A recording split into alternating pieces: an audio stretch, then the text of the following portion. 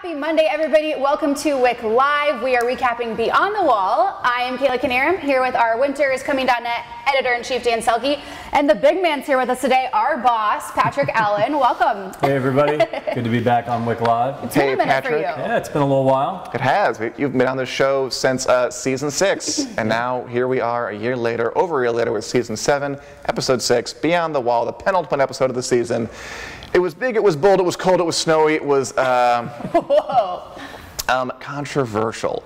Patrick, Kayla, any immediate reactions to the big events of last night's Game of Thrones Spectacular? I mean, where do you even start? There were so many things. What stuck out to you most? Uh, just kind of when Dany finally got there and saw everything, and, and she was talking to Jon at the end and was like, "Well, once you've seen it," and I was just Right. kind of like, "That's what he's been. that's what everybody's been telling you." At the same time, though, I mean, I liked. The, I mean, I wouldn't just buy Zombie sight unseen. I think she had to see it. I sympathize when she. I mean, why would a stranger with great hair tells you there's zombies? You just accept it? Like, no, you do have to see it. So I, I got that she wouldn't really be fully on board until she saw it. Yeah, I mean it's fine. I thought it was, you know, it was cool to see her fly up there, do a little damage, and uh, obviously a big major plot point had to happen, and it sort of changed the game, so to speak. If you were feeling like Dany and company had all the, you know, they were holding all the cards, that's not the, the case anymore. No, it's not. All right. A lot happened. Let's walk through it bit by bit, get our opinions, our uh, thoughts, our feelings, our emotions. If you guys have comments, queries, anything, put them in the chat. We are manning it. We got Mark Carmen manning it. We got myself manning it. Um, Julie Davies. Hey, Julie. Loved every minute of it. Naturally. Renee Davis Tracy. Hey, guys. Fabulous episode again. And there is some controversy, y'all, about um, some people are a little down on it, and we'll address some of that too. I thought we'd start You are one in particular. because I am a pedantic nerd, and some things um, rub me a little the wrong way. But we'll get into it. First, let's start with some of the uh, uh, uh, one of the more innocuous parts, just harmless parts. Um, there was a lot of bromance talk this episode. We had our Jon Snow and the Jonettes going north of the Wall, north of the Wall for Eastwatch. And there's a, plenty of discussion between the seven of them. Did any of these conversations stand out to you, and why, Kayla? Um, probably the one with Jon Snow and Jorah. That was probably the best one I thought. Yeah, because he was like, "This belongs to you," and he's like, "No, my father was ashamed of me. He gave it to you. You need to keep it. Give it to your offspring, whatever." I think it was like a respectful moment because Yeah. Jon is the kind of guy who's, you know, dignified and will offer this sword back to the son of the guy who gave it to him. And then Jorah is also a dignified guy and will say, no, guys, so- keep it. Yeah. So I felt like that would bond them, like they respect each other a little more. Patrick, did it? That was probably one of the more mature conversations of. Yes. Some of the little- others were a little more seat of the pants. Did it bother you? Because you're like a book reader, you know the lore and stuff. I was a little surprised that Jon wasn't more mad at Jorah to start, because Jon usually kind of follows his father uncle's Ned Stark's lead, and Ned prosecuted Jorah for slaving.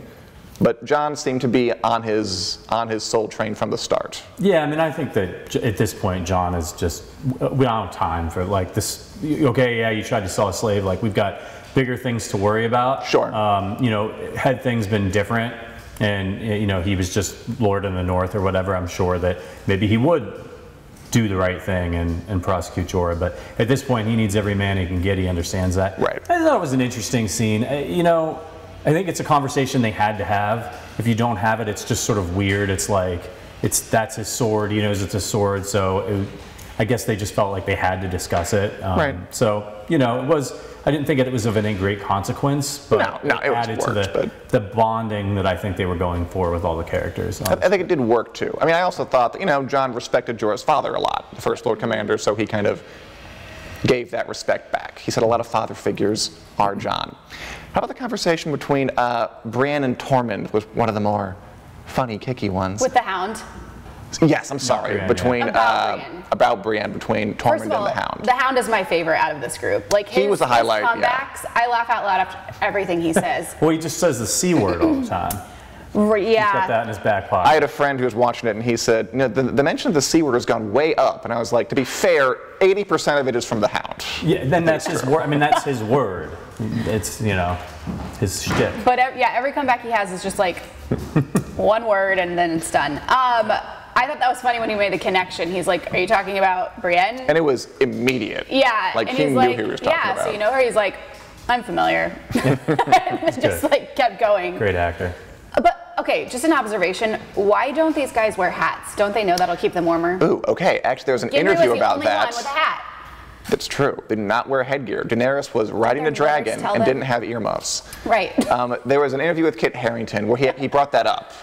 And he just said that I it mean, was especially like the Hound, where he's like missing chunks of hair and it's like Yeah. hitting his head. that, that, that a few seasons back, the producers just decided, look, you all should be wearing hats, but it's TV. We need to see your faces. Like that was the decision they made. Okay. I don't know if I agree with it, but that's It's just not that's why you They'd don't see dead so hats ahead of the cold. I mean, I agree with you. I I would sometimes I feel like they do things because they don't assume enough of the audience. I mean, like we I'd be happier if they kept it realistic and they wore hats. Gendry had a hood. He did have a hood. I mean, there are dragons flying around. I mean, like, I think we can set aside the Believability. I hate is that uh, back excuse. burner. Like, because even though there are dragons, this is a show that's been built on details and keeping it grounded in reality. So, so whenever someone says like, "Oh, but there are dragons," like, so what? So, uh, someone in armor still can't just not drown when they sink into a lake. Sure. Is is my opinion. And they were also that. like walking for half the episode to get to where they needed to be, and then Gendry like ran back in two seconds. he did. he got back awfully quick. I He mean, did claps when he got there. he did claps. He was, he was tired. We'll just the timeline a little later. Um, any other of the conversations stood out? We had uh, Gendry trying to get justice for that time the Brotherhood sold him to a witch, and the Hound basically being like, "Shut up, you're fine." No, I mean, I think that they were just trying to sort of. These characters haven't all been together Mm-hmm. at the same time. I mean, in the last episode, a couple of them weren't in a, in a nice cell. So, you know, I think it was just like, Right. let's bond these guys together a little bit so that, you know, when the when the crap hits the fan, we'll care a little bit more. Yeah, it was cute. Um, by the way, Michael Collins has a comment on the bromances. The bromance angles were great, he says. They helped with the natural tensions between some of these comrades, and it set up possible future clashes when they aren't forced to work together. That's an interesting one. Anybody here potentially could clash Kayla in the future? Um, I feel like there could be a lot of clashes. Yes, Uh, Sure. among the, the guys. Yeah, among the dudes. I mean, I mean, at this point, they all have to work together because it's all of their lives Right. at stake. So, I hope they stay as a tight knit group. I kind of, as Beric Dondarrion was pushing his uh, Lord of Light proselytization on Jon a little hard. It, it, remi- it reminded me of, like, I don't know, if. That's Patch if, Guy, if, yes. if, what's that? The patch guy. Yes, eye patch. if, like, someone is, I don't know, trying to, like, bring you the good news, and Jon wasn't quite buying into it about the Lord of Light, saying that, and I, I find it hard to buy into a religion where everything is so vague, and they're always telling you you have a destiny, they don't know what. Uh, should Jon, tr- uh, what's the word, accept the Lord of Light as his Lord and Savior since he got brought back and everything? I don't think that it's so much about the Lord of Light specifically, Mm-hmm. if there is a Lord of Light. It's more about the fact that a, a little bit of faith is a, is a good thing. And mm-hmm. whether or not he's actually trying to get Jon to believe in the Lord of Light, or he's just saying, hey, look, man, stuff happens, can't all be coincidence. Maybe you ought to just go with it a little bit and believe, I think is really what he was kind of trying to get at. Right. And then he kind of got through to Jon when he put it in terms of, you know, our mission on Earth is to protect people, which kind of got into Jon's central nervous system, which is what he does, and he came around to it a little bit. Anything else? Let's see. I think the last one we kind of had was uh, Jorah and Thoros of Myr, the dearly departed, talking about the time Thoros of Myr charged Pike, looking awesome and blackout drunk, can't even remember.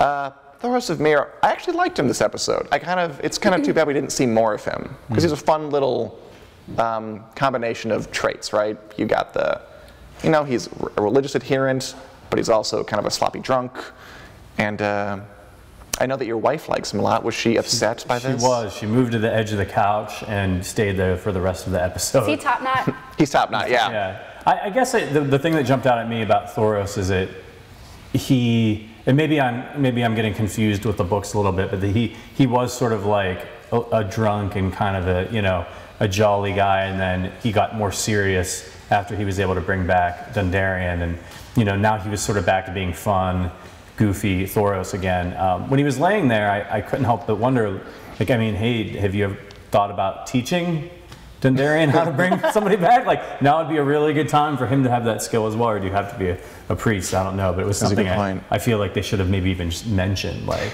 I mean, I, get- I think that plays into the whole Lord of Light thing being so mysterious and vague. Like, I'm not sure he knows exactly how he does it. He just says the prayers, and the Lord of Light works his magic. Right. Melisandre, too, when she did it, she didn't know what she was doing. She just kind of did what she could, and it worked. And then she was shocked afterwards. yeah, I would have liked to have seen Thoros come back. I mean, Me he wasn't- too. He wasn't too jacked up. I mean, they cauterized the wound. He was able to run a little bit um, as they escaped. So, but I guess he's he's gone.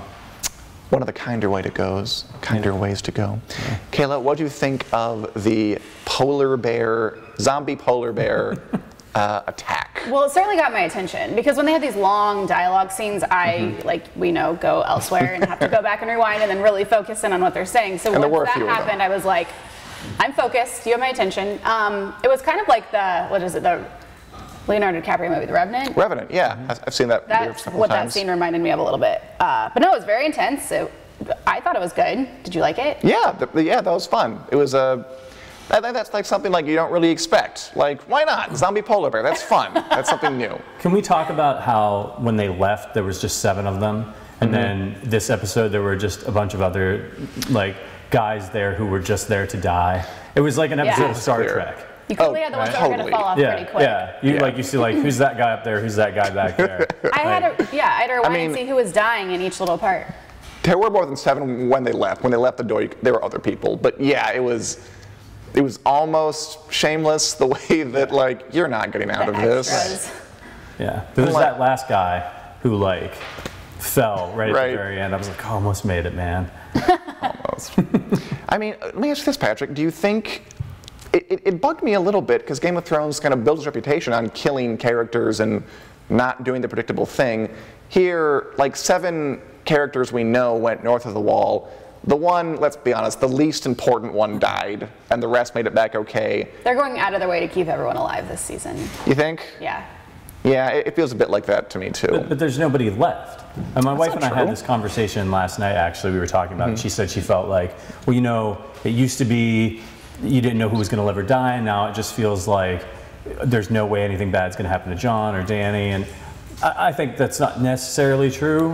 Uh, Down the line, something could happen, but. It does feel like they kind of killed off all the principal characters, and the ones that are left need to stick around, and the, the only ones who are vulnerable are kind of the, you know, I mean, maybe the Hound, somebody like that. Could I mean, I mean, you know, they got the Hound, they got Jorah, they got Gendry, they got. Um, I mean, Gendry, You can kill like Brienne, five you can kill episodes. Podrick, you can kill Bronn, you can kill Varys, you can kill, um, you know, Littlefinger. I just, I think there are plenty of characters left. I don't think the Hound should die until he comes face to face with Arya again. Oh, I don't either. But I'm just saying, I think there are Davos, Mel- Melisandre, uh, Missandei, Grey Worm. I think there are characters on the in between you could definitely kill. Jorah. It's- It sounds like Melisandre and Varys are going to die. It does, but I think that they're saving that. I mean, I, I would love to see another main character die. Like, Not Dan. because I love bloodshed, just because I want I want to be thrilled and uh, surprised by the twist. I mean, it's hard. To, it's hard to see Cersei getting through this thing It is. um, intact. Jaime almost died. didn't? Jaime, yeah, Jaime's brave and stupid. At the beginning, or when they were filming last year, wasn't it rumored that maybe Sansa was going to be out, or Yeah, it's always rumored. Sansa. I mean, I've grown, grown fond of Sansa, but yeah, she could go. like. Cersei, Jaime. I mean, Jon and Dany. I think I think Jon, Dany, and Tyrion. We're all assuming they're going to probably make it a long way. But um, Bran, Robot Boy. At this point, I hope nothing happens to Braun. Bran, right? Yeah, Bran, I don't care about. He's just getting more irritating. there he is. Thank you, Funko, for sending this Bran figurine. He shouldn't be standing. I know he doesn't. Oh, I know. See, he, he does he doesn't stand well. That's the one time a small design flaw actually works in favor of uh, the figurine.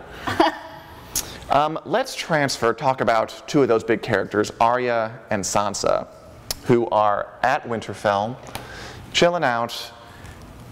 Kayla, could we have a sororicide in our new future, near future, which is the murder of a sister, by the gonna say, way, for your mean? vocabulary maybes out there. you know, like I fratricide, patricide. Surely hope not, Dan. I don't like this at all. I hate that they're at odds. I hate that Um, Arya is kind of scary lately. I don't, I don't know, like, uh, well, yeah, she, so she basically read the note to her, but he called Sansa out, was like, I would never go against my family, I would never turn my back on them, you did this, our dad's dead because of you, blah, blah, blah, blah, blah. Um, Did you buy that? Did you buy Arya's anger? yeah, I understood where she was coming from, but I also know what Sansa, the position she was in and what she's been through, and she really didn't have a choice. She was like, Right. well, did they have a knife to your throat? But it was I mean- still not in a good situation, so. Almost. I mean, the, the, the, the reason this storyline is going to get getting some criticism from fans um, is because, I don't know, a lot of them don't seem to, they're on Sansa's side and they don't see why all the anger from Arya. It's, they think it's like too much. Yeah, I see that. Patrick, how about you? Well, uh, you know, Arya learned a lot of things when she was, at, uh, you know, with the Faceless Men, and one of them was not compassion. It's Um, true. And She's you an know, assassin. We saw shades of this earlier. It's been a weird kind of season for her because she had this sort of like really great and light conversation with the Lannister soldiers where And she, hot pie, too. no, but see, I didn't think the hot pie scene was. I thought that was actually completely different. She was Ooh. she was much colder towards hot pie. Um, she was very business-like She was. when she saw him, um, which was sort of weird as she was sort of laughing just just a little bit before that with the Lannister soldiers. Um, it was definitely Arya before she goes into uh, the the temple and bec- becomes a faceless man. Like she would have had a much different reunion with Hot Pie, um, and she was a very emotional and very caring person uh, and wore her heart on her sleeve. So it's I think it's actually kind of hard to tell um, what her motivation might be here, whether or not she's putting on a little bit um, because Right. because she has become so calculating that it seems like some of these conversations with Sansa border on emotional, and I don't think that she's that that girl anymore. Um, so I'm not exactly sure what's going on, but I, I did start to wonder if she's just trying to scare Sansa, like a scared straight kind of thing, a little bit. Like, look, don't get too co- like don't get too cozy with Littlefinger, and maybe that's why she gave her the dagger. Um, Which was an interesting move. Yeah. yeah. What did you think the reason was for that? I honestly don't know. I figured maybe she's trying to test Sansa's loyalty a bit, or she's trying to give a signal like I'm being threat, like Patrick said, like I'm being threatening and scary. I don't know. It's a sign that I'm still, I'm, I'm trying to give you the benefit of the doubt. I'm not going to threaten to kill you, but I'm not going to kill you. I don't know. I'm intrigued by that move. I'm still hopeful she's just gonna outsmart everybody. Me too. She doesn't need to threaten Sansa. And she Like- did that's though. so But- frustrating. right, but I mean, she, when I say she doesn't need to, like, if she decides that Sansa needs to, to be killed, she'll just do it. She can just do it. Mm-hmm. That's She a good doesn't- point. She doesn't need to threaten her. So there's a reason why she's having this conversation with her. Uh, there's no reason to just threaten her and then just decide to kill her next week. There's, you know, she's laying down some kind of ground rules here. I mean, and she, her threat was to release the, uh, you know, the note to the Northern Lords to kind of undermine Sansa's power. I mean, it is her sister. I mean, Arya's had to, has had to talk herself into killing folk before, like Lady Crane last season. Like she was assigned to kill her, didn't want to, and she waffled back and forth about it. Her sister might be the same thing, and we're not seeing her uh, struggle with it. I I had one I wanted to bring up. Um, in the Take the Black podcast, which is recorded weekly on uh, one of the contributors named Isis pointed out that um, it's hard for her to see her little brother, who's now grown up, in a like she still sees him as the kid he was a bit, even though he might not deserve it, and he's done a lot of growing. And actually, I, I, I have a brother, to get a little personal note, who um, I didn't get along with terribly well as a child, and even today, I sometimes assume, even though we've both grown up a lot, I occasionally like assume the worst of him, even though he, he might not deserve it. I mean, it's, it's, it's, it's like an instinctual childhood thing. Mm-hmm. And I, I think that applies to Arya a bit, because she knew Sansa when she was more naive, when she was a little more vain, when she was you could believe more she'd be willing to betray her family because she loved Joffrey so much. And I think she's having a bit of a block now that because she because they haven't seen each other in years and years and years, a bit of a block uh, accepting that Sansa is no longer that girl. And then Sansa can't understand that Arya, her little sister, is this crazy assassin lady. So she just, of course, I mean, who would? Yeah. I mean, when she finds the faces in the room, can you imagine what that must have been like? Was that Walder Frey's Uh, yeah, face? it was. I think so. Tell yeah. I looked at it. Yeah. Uh, yeah, I mean, I think she's. Um, y- you're right. That one of the last times they saw each other, um, you know, on the road to King's Landing, Sansa threw her under the bus um, Right. and wouldn't lie to protect her. And so, you know, she, Arya. I don't think she's Arya's completely unsympathetic toward what had happened to Sansa in King's Landing, but Not completely. but she's um, she's definitely letting her know that like get your act together your act better be together and you can, maybe you need to kind of prove it to me a little bit um, because she does have Littlefinger and it is this sort of as my wife mentioned last night the the warrior and the politician having this conversation and and Arya is like let's burn it to the ground and Sansa's like that's Right. that's not going to work so seeing how that dynamic and obviously Littlefinger's got his mitts in here and what is what is he trying to do he's obviously trying to drive a wedge between Yeah. the two of them Wasn't he kind of coming to Arya's defense though when Sansa went to Littlefinger? He was. So what is? I don't understand what he's trying to do here. He's trying to pin them against each other, but then he's telling them to. I think what he's trying to do is he's trying to. So he planted the thing for Arya to find. She knew she would get mad about. I think he's trying to do what happened. He's trying to get Arya angry, so she'll scare Sansa, so Sansa will come back to him and ask for advice, which she did. Yeah. And Littlefinger's thing is. Like he, he, he's trying to drive a web between them, and he That's does that Sansa turns to. by phrasing it in a way that makes Sansa admit that Arya is capable of great things or, or bad things. He's like, I mean, surely Arya wouldn't, um, you know, threaten or harm you in any way. And he knows the answer is probably yes if she thinks Sansa will betray Jon, but he's making Sansa say it so he doesn't look like the bad guy. Okay, he's crafty got it. I'll, I, I- here's the thing, and this has been the, show, the problem the show's had for years. I would be able to buy that Littlefinger is being convincingly sympathetic if he didn't have that like smoker villain voice that he's had forever. yeah but that's that's you know that's my problem, he's still Tommy Carcetti to me and I, I never seen that. Um, let's see, what we got on here? Ooh, uh, Carrie asks, "Are you going to be the future hand of the Queen?" Could be fun. Dion th- asks if uh, Sansa's might be on her list. I That'd be hope not. I hope not too. They're sisters. I doubt it. I think they're gonna find a way to come together by the end of this. Hopefully, finding Littlefinger in the process. And uh, Kenny loves the dragons next to me. Thank you, Kenny. We do too. We're dragoned out over there We are. We're, we have all three dragons and Bran. Although, spoiler alert, one of these three isn't going to make it through the episode. We'll see which one. um, let's turn to Dragonstone here. We had one scene there Daenerys and Tyrion chatting about what to do after Daenerys dies. Uh, Kayla, why is this topic important to discuss? Because they're putting all of their faith, hope, everything in her. Right. So if she dies, what then? So I think it's it's fair to ask the question. It is. And she was not having it. She was like, don't worry about that until I'm wearing the crown. Why do you think she was so um, not wanting to have this conversation? Um, well, it would mean she would have to die. Right, I mean, no, let's don't talk about the think I death. want to have that conversation either.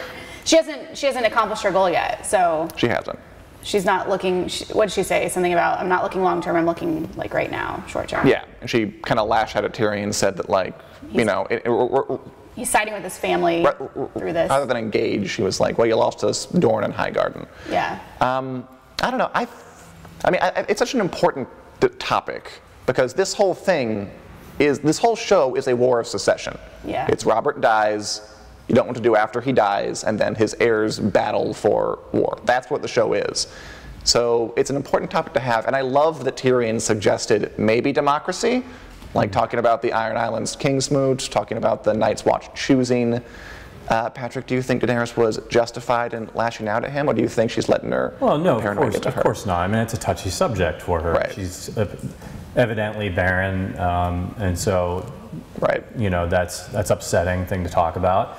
Um, and you know, Tyrion's right. Like it's it it actually makes her safer if there is some line of succession because if you know if she has an heir, then people know. Well, if I knock her off, somebody else is just going to step up. Every the loyalties are going to go to this person. Whereas if she's just like a, a one-hit wonder, then more people will be, you know, that maybe want to seize power might be more likely to try to assassinate her, so they can they can slip in amo- amongst the chaos. As what is it, Littlefinger's chaos is a ladder. Right. Um, so Tyrion's trying to prepare for every eventuality, and he, he knows that they're going into war, and people die in war, and there needs to be some sort of plan. And she's just she's just not ready to have that conversation. And as we've seen with her, she's she's not infallible. She didn't believe Jon right away, didn't do the right thing She right wouldn't away. have because zombies, man. Right, because zombies. Um, and, you know, and I think that she's uh, something? she's got a little bit of that Targaryen temper, Right. which is coming out now more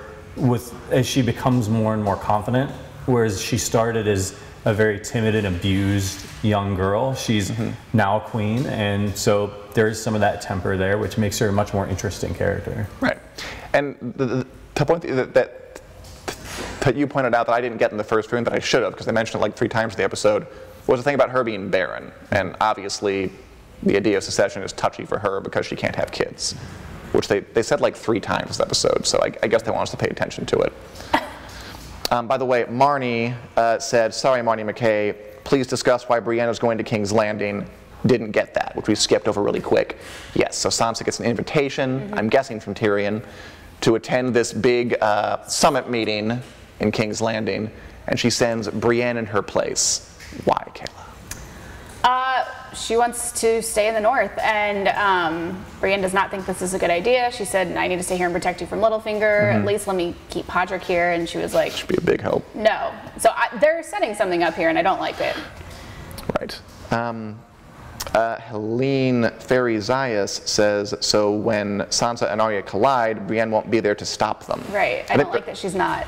I think there's a bit of subtext in there because Littlefinger pointed out that Brienne's is pledged to serve both Arya and Sansa. So I think part of the reason Sansa might be sending Brienne away is to um, make sure uh, Brienne can't intercede on Arya's behalf, which I think she fears a little bit.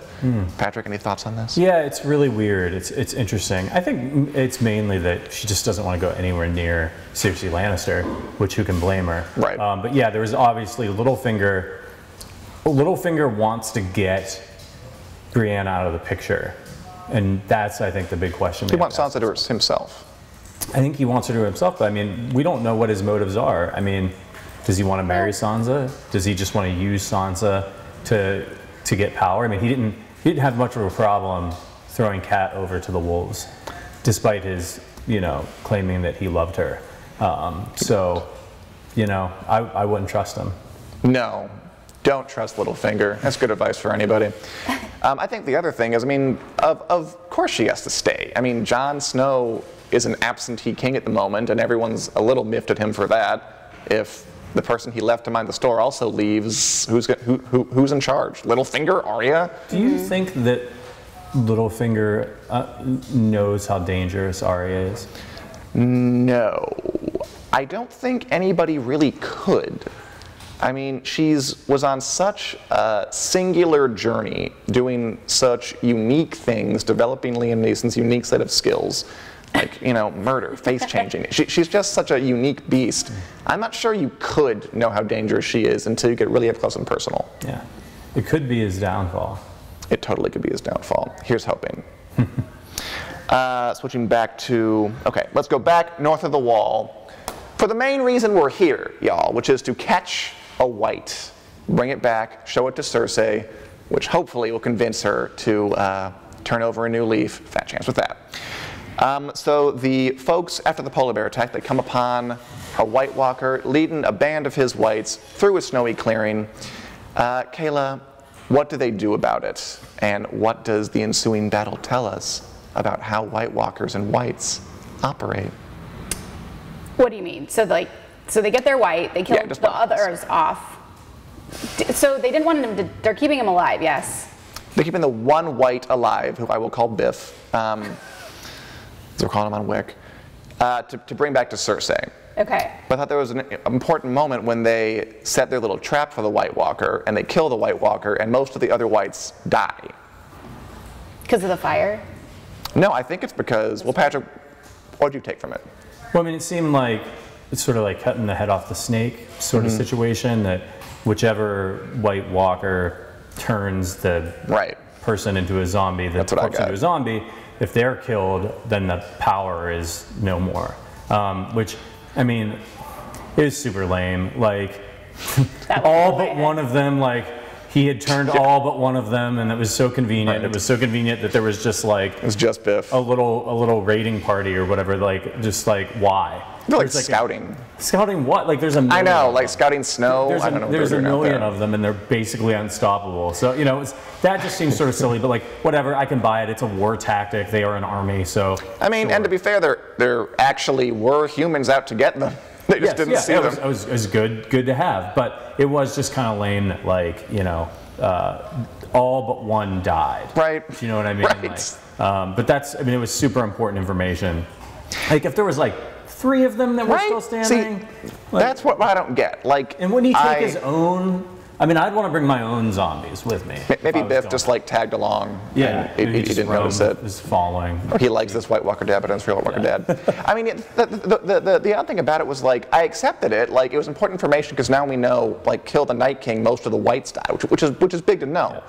But yeah, like even if they just had like two thirds of them die, it would have had the same effect, and it would have just been a little more believable. Well, and this also isn't the first time one of those guys got smoked by Jon. Right. So like at Hardhome, like we didn't see like a bunch of We didn't. But to be fair, it was Jon and him in a little hut, Right. and for for all we know, a bunch of them did die outside. We just didn't see it. We didn't see it. So it was kind of like, but I mean, look, it was important information. They had to find a way to do it. It didn't bother me that much. It was It didn't. I just, it's, it was, it's one of those things where like, I, I just want to go in and like tweak it just so. Yeah, yeah, Because yeah. just, I guess it needs to be tweaked just so.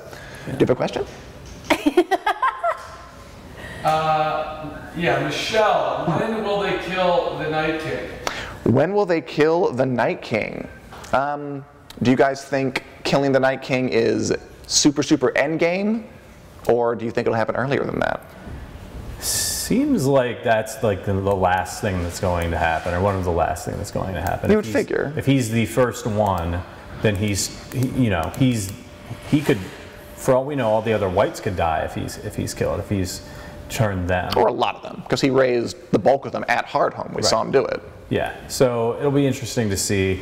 Um, but yeah, I don't think it's going to happen until next season, unless they're going to go Oh, surely major curveball and just do politics all the last season. Um, I would kind of, Kayla, what do you think of the idea that, like, my personal pet theory is, I don't think it'll happen, but like the Night King dies not early, but while there's still a chunk of time left, and that it's all a big fake out for some other kind of human conflict. The last three episodes. Do you think the Night King is the goal of this show? Do you think we could get a twist? Oh, I didn't see that coming. I hope not because I've said it before. This is where the show loses me. I just like. No, no, I understand. I don't get into the zombie thing. Um, I yeah, I don't. I honestly don't know how this is going to play in, but I hope that. I mean, I hope that it's a person that comes into power, not the Night King. Sure. It's the very first thing we see in the very first episode. Oh, that's Uh. My wife's long. She's she's been annoyed since sort of the beginning a little bit that there wasn't Mm-hmm. enough zombies because she was like, I don't get it. Like there are zombies in the very first scene, and then there just were hardly no zombies for you know many many episodes, which is a fair which is a fair point. Um, Sure. But they needed to introduce the threat. I have a question for you, Dan. Go ahead. How far south do you think? Can they go all the way? Yeah, why not? You know, it just I don't know. It just seems like when they when they've been talking about it in the show this year, they have sort of talked about the North being the most vulnerable, which uh, Well, makes sense. yeah. But like, you know, is it like is it down in Dorne, for instance? Is it like how cold is it going to get there? Can they come all the way down and like hang out in the desert? I mean, I don't think there's any reason they couldn't come all the way down. Did they bring the cold? Do you know what That I mean? Like- is ambiguous, Yeah. but it's there's certainly evidence for it. And I, I think in the books they make it more clear, Mm-hmm. although it's still un- a little ambiguous there. There's a good argument that they bring that they bring the winter. They are winter. So uh, that I it's not just they come that with the winter. They can only live in winter. No, I think wherever they go, winter will follow. Oh. So I think they could totally go to Dorne. I mean, Jon certainly seems to think it's a problem for all seven kingdoms, not just one, and he wants to get all of them behind it. But they don't come every winter, right? Like there's been recent winters that people in the show remember. Well, I and mean- there are no zombies. I mean, when I say they are the winter, I'm talking Yeah. like metaphorically, Right, not right. But it's literally. like, is this this is like a long night type winter? right? Yeah, this is for some reason we have no idea why.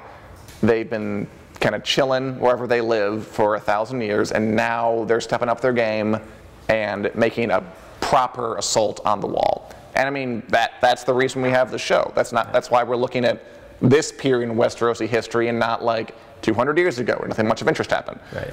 Like you know, we, we, we go where the action is. Cool. But I don't know. I, I think they could totally come to Dorne. That would be fun. I, I'd watch that in season eight. Um, moving on. So they capture Biff. They capture the White, but he screams, and then the rest of the army of dead comes Was that running. like his SOS call? Looks like, yeah. Makes a big, loud, gross scream. He bites the hound's hand, which the hound does not like. No. Throws some rocks later. Um, John sends Gendry back to run to Eastwatch, and the rest of the team runs for a frozen lake and uh, gets stranded there. Kayla, what'd you think of uh, the, the action sequence where they're running and the whites just tumble into the lake? I thought it was kind of cool. Um, This whole thing we kind of talked about off camera. I thought it was just all very predictable. Like, there's no way this group is going to die. Right, right. Super convenient Something convenient has to come save them. Yeah. It's super a convenient lake with a frozen big lake. rocky island in the middle. Right, Right. yeah, it was just all very, I don't know, perfectly planned. Uh, so yeah, they obviously are all falling into the lake. They are stranded on this rock for however long. What what was the point of the hound? Was he just trying to entice them? Like, why would you want to bring them on you? I mean, he didn't know the ice was frozen. I think he was just ticked and he didn't like them for biting his hand. And he's just like, screw you guys, which Yeah. is very I the thought it was just like the and chucked anticipation of what was going to happen, and he finally just like lost it and was like, "Come at me, bro." Oh, oh, really? I didn't get I that. don't know. Just typical hound. He's angry. Yeah. I thought it was just being a jackass and just. I mean, you're bored. They've been on that island for what has to be I wouldn't want to bring them upon us though. Like, I want them to keep their distance and oh, wait right. for help. But he didn't know that they could actually come to them. He Okay. thought the wa- the ice would still break, and then they figure, all figured out together that it was hard enough for them to walk They would have figured it out eventually, but Right. he tipped them off maybe a little. So nice going the hound, but I, I totally buy the hound would just be a jerk and chuck rocks at the dead guys across the way. I, I completely buy that. Um, Patrick, do you think there was it, the timeline's been criticized a bit just because it happened so quickly with Gendry running to Eastwatch, sending the Raven, Daenerys gets it, and That then she swoops back fast. well, I. Did, didn't. did, did that bug you at all? The Gendry part didn't bother me because I figured they were still really close to Eastwatch because Right. the, the you know the zombies are on the move. They're coming to the wall. Right. I mean, if So- we want to use the map, um, they left for Eastwatch. They were marching south from Hardhome, so they couldn't have gotten that far, like here-ish. Yeah, so I mean, it made that didn't bother me because I figured they were probably pretty close to the wall anyway. Mm-hmm. As far as the timeline with the the, the dragon, I mean, flying's you can, you can, Yeah. flying's fast. like quick, man. It's that's it's that's a that's These the are fastest way to travel in Westeros. 747s of Flying in the Westeros. friendly skies. So no, I mean the the Raven um, maybe take a little bit longer Uh-huh. to get there, but on that dragon, I mean it's basically a jet engine. So no, didn't bother me. A couple days they were out there. Actually, it didn't, it didn't really bother me either. I know some people seem to be a little um, butthurt, I think is the word about it.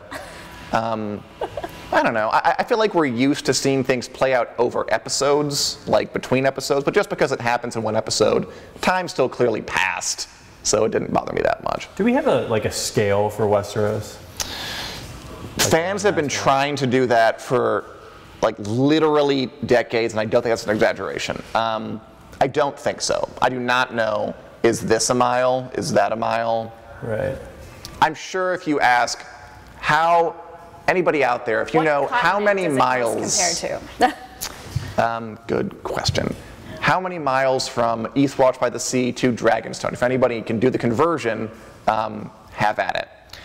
By the way, uh, Carrie Jacobson asked if we're going to see an episode from the Night King's point of view, which I would love. That'd be fun. interesting. I doubt it. Wouldn't that be cool? It Would be a lot of dialogue. It's fine. It could be like a silent, creepy film. Yeah. Do you think he talks though? Maybe he Do can they talk? I mean, They have not talked Like so they'd have their far. own language. They did actually have their own language in the show, but they cut those scenes because they thought it looked kind of seemed silly. So they're just uh, silent but deadly. Um, communicate with looks and creepy glares. Don't talk. We have a question from y'all. Stephanie Wilson, can Bran control the dead? Ooh, can Bran control the dead? Interesting question. I don't think so. But um, there's a theory that Bran and the Night King kind of have like similar-ish powers of uh, foresight and spookiness. I can see that. I think that's a question that the show will answer, um, or at least get closer to as it goes on. I'll be intrigued. Anyway, so uh, Daenerys gets the letter. She decides to go off to Dragonstone, even though Tyrion tells her not to. Kayla, good idea, bad idea? Should she have taken Tyrion's advice? I mean, they're- had no other choice. Like, it had to happen that way. So, I mean, she could have just followed his advice and not not rescued Jon. But then they'd all die. That can't happen. it was just so obvious. But, like, Sure. I'm glad she went. I'm glad she didn't listen to Tyrion's advice. Right. I mean, Because it hasn't been working well for them lately. So It hasn't. I think she's just over it. Like, you know what? I'm going to do my own thing. See ya. and I buy that she would. She's she she's the heroic type, the helpful Yeah. type, so I can see it But that was literally, I feel like that was the only option to say. for the show. For the show, yeah. I like that She you're made the right coming call. He was he was wrong. Um, I mean- Jon's an ally. He's got a power to the to the north. Um, it was was it dangerous? Yes, but uh, it was definitely the right call, and she was the only one that could do it. So She you know, was. Tyrion's not he's not infallible either. He makes mistakes. He's his default position is is caution. Right. He's and that's that's what you need in uh, a hand, right? If you're uh, if you're a Daenerys type. So um, it worked out, and she did lose a dragon. So I mean, I was going to say the, the counter argument to that is if she hadn't gone, not only would she still have all three dragons, one wouldn't be on the other side. right, but if she hadn't gone, Jon would be dead. Presumably, he'll be able. Been to there, done that. I mean, Right. Um, but Jon would be dead, and they would. She would be lacking critical information that she True. needs. I mean, what they learned up there. Like, I don't think bringing the white down to Cersei is going to make any difference because she's cray. But like, I think that knowing that how to beat these guys, that you don't have to defeat every single zombie. Uh, you just need to defeat one or maybe a couple. It is important information. Huge information to Right. know, and that's worth that's worth one dragon. all right, well, let's talk about that. Because the big action moment is the dragon comes down, Viserion. He's swooping down, and the Night King sees him in the distance, decides, hefts his ice spear, Olympic throws it like a javelin uh, punter. It's quite an stabs him. He goes down. Everyone's upset. Crashes into the lake. It's horror. It's awful. It's the Hindenburg times a thousand. And Viserion is gone out of our lives. Did this moment land for you, Kayla? I was very sad. I mean, yeah, anytime there's a dragon scene where they're flying in, I always get goosebumps. It's, it's Right, just it's cool. It's cool.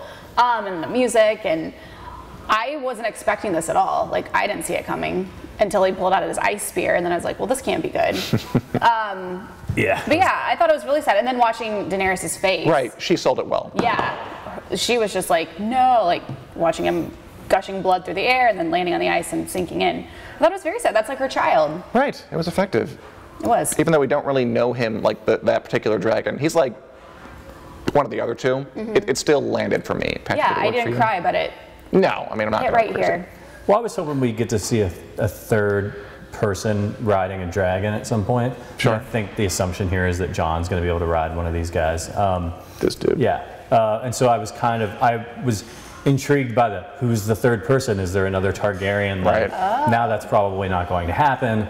Um, so I'm a little bit bummed about that. But yeah, I mean, you know, it was good and really important because they just Westeros has the deck stacked with these dragons, right? And, Right.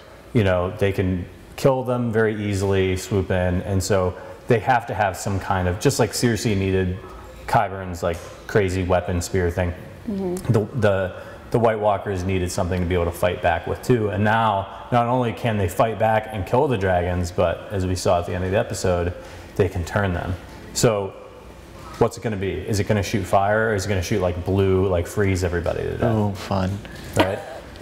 It's got to be ice, right?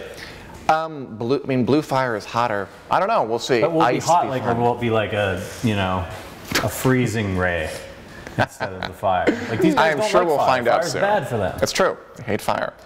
It's it's it's it's gonna be fun to watch. They're gonna go full fantasy on us. Sorry, Kayla. I can I can already see it.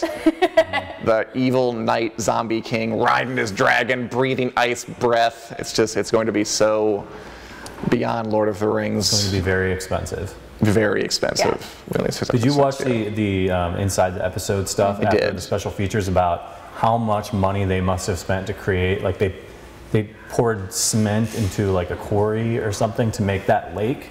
It- Right. the bulldozers and it's absolutely insane. Wow. Yeah. I'm like, that was on TV. Um, hard to believe a show like this will come along again when it just has when it has that right combination of like like ambition and huge popularity and willingness to actually do this stuff. Yeah. It's a it's it's a unique piece of the show.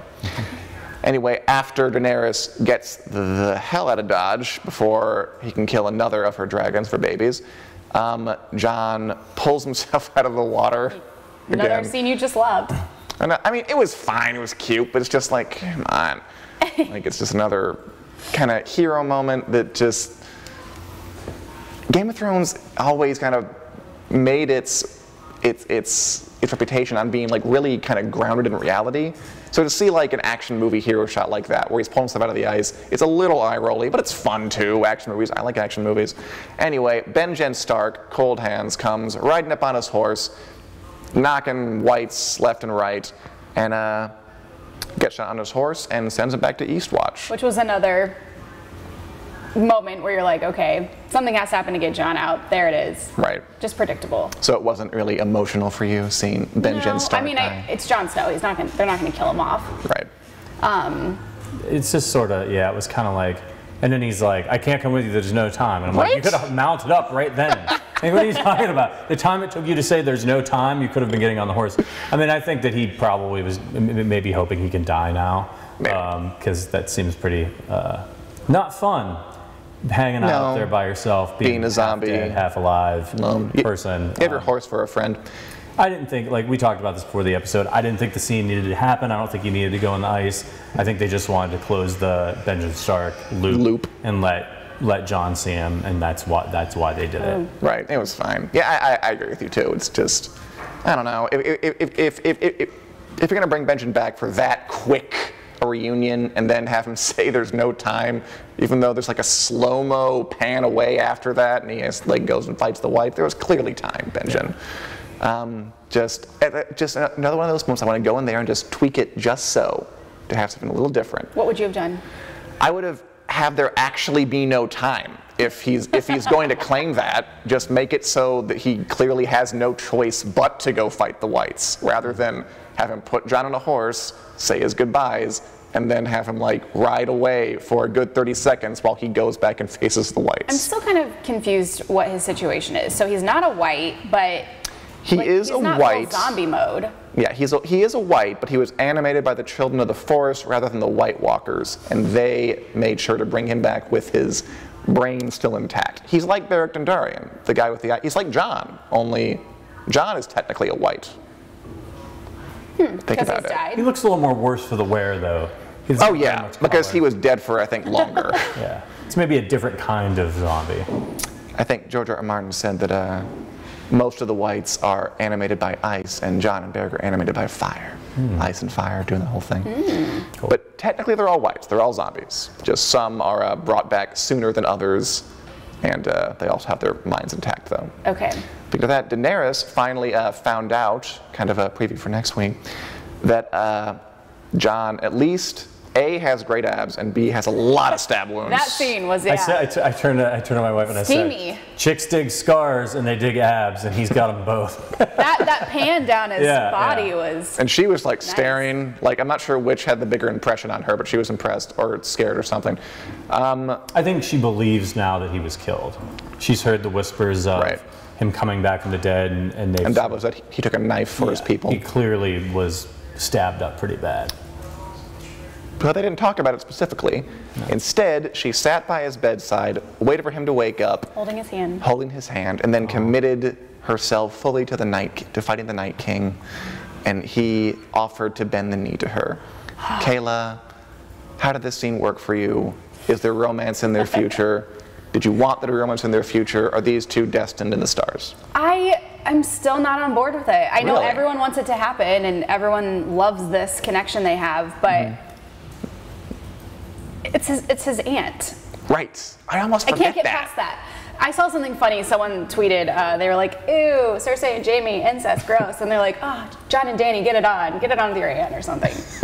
but yeah, I, I don't know. I just, because I know they're somehow related, I don't want it to happen. Gotcha. Patrick, are you um, are you pro romance, which means you're pro incest, or um, Incest is the Targaryens thing, man. it is Like, the Targaryens? Um, yeah, I mean it's not, and and like he's he's only half a Targaryen. he is so half Targaryen. you know they can. It's bet much better for the gene pool.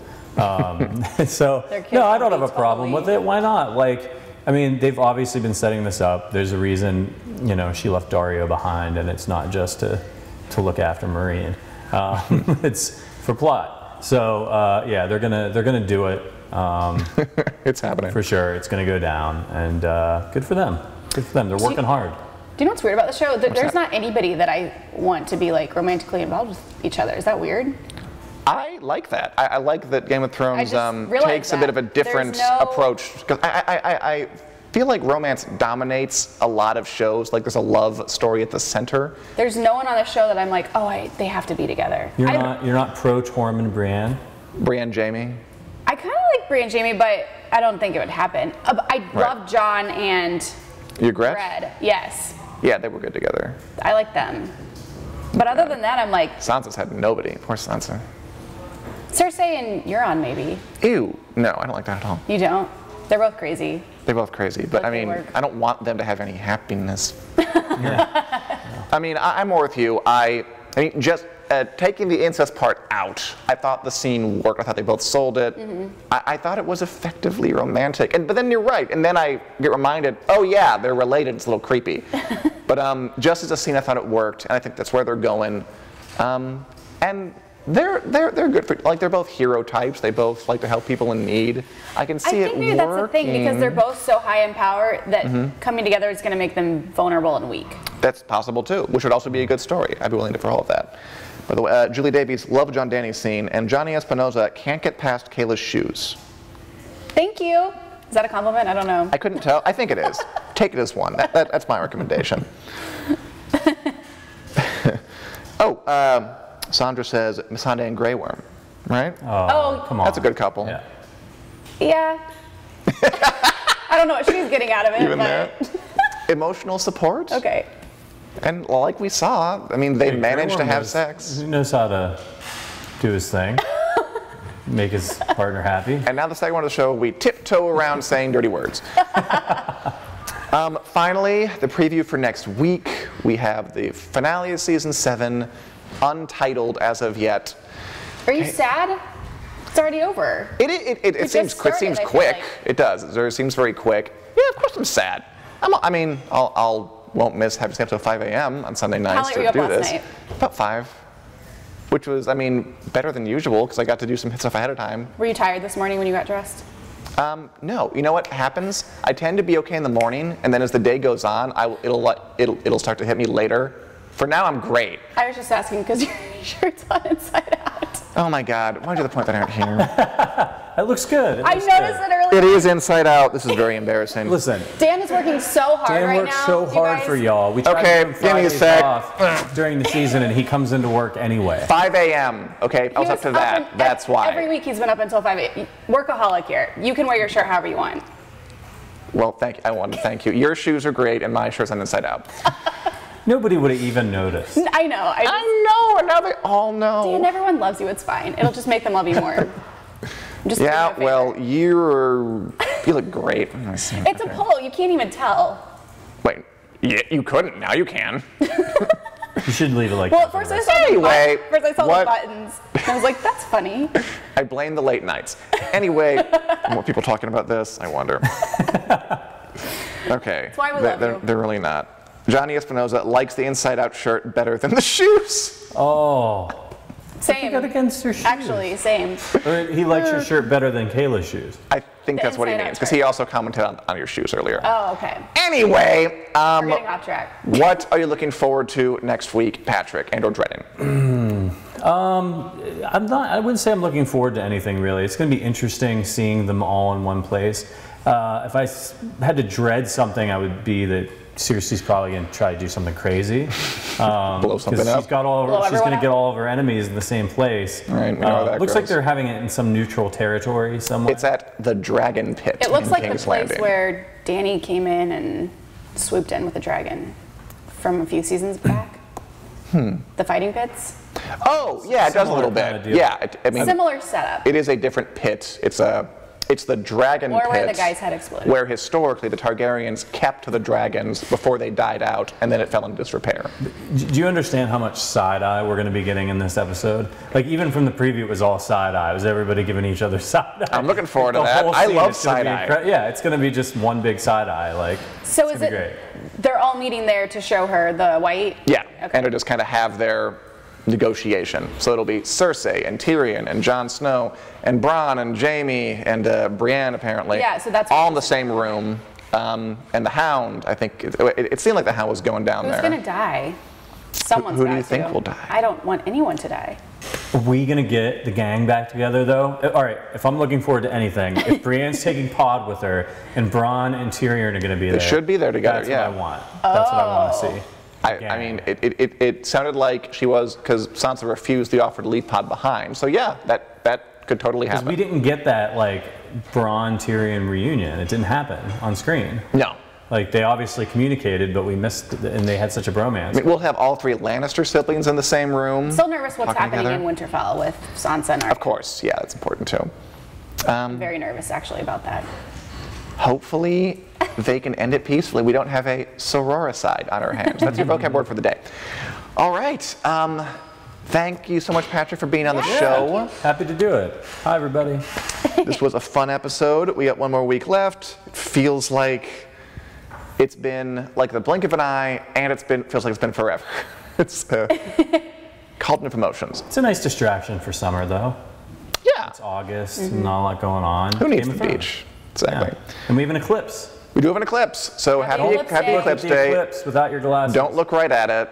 Um, and we will be back next Sunday at 10 a.m.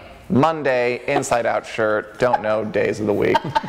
next Monday at 10 a.m. Monday for the final episode of WiC Live for season seven. And afterwards, we'll be breaking it down on future episodes, looking back at the season and bringing you more fun content in the weeks ahead. Valar Morghulis, y'all.